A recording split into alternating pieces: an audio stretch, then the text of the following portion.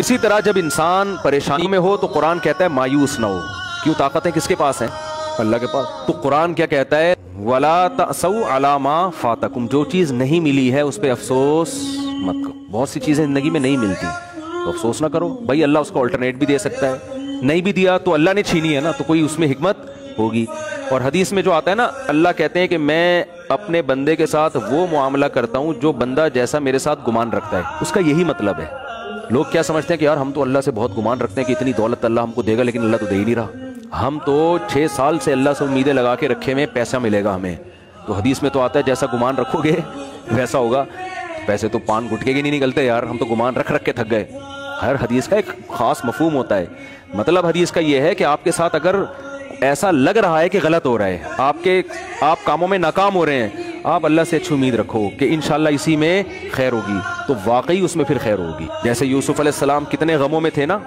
लेकिन अल्लाह से उम्मीदें लगा के बैठे हुए थे, इसमें मेरी खैर है। याकूब अलैहिस्सलाम के दोनों बेटे भी छड़ गए, लेकिन कह रहे हैं, आलम अल्लाह माला तालमून। मैं अल्लाह के बारे में वो कुछ जानता हूँ जो तुम नहीं जानते। इसमें मेरी खैर होगी। हुई खैर की नहीं हुई?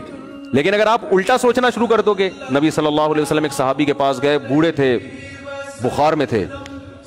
तो आपने फरमाया लाबासतहूर इन अल्लाह ये बुखार, हदीस में आता है, जब बुखार की गर्मी, ये जहन्नम की आग को ठंडा करती है। ये जहन्नम की आग को, यानी हदीस में का मफहूम है कि जो आखिरत में अल्लाह ने अजाब देना है ना आग का, दुनिया में बुखार की शक्ल में दे देता है अल्लाह ईमान को बाज़ दफ़ा। तो कितनी बड़ी नेमत है बुखार का होना गुना धुलते हैं। तो वो, उन्होंने कहा कि नहीं, ये ये मेरे गुना माफ़ करने के लिए नहीं, ये एक बूढ़े पे मुसलत होकर उसको सताने के लिए आया हुआ है। तो आपने फरमाया वैसा ही होगा। अब ये बुखार गुनाहों की माफ़ी का ज़रिया नहीं बनेगा।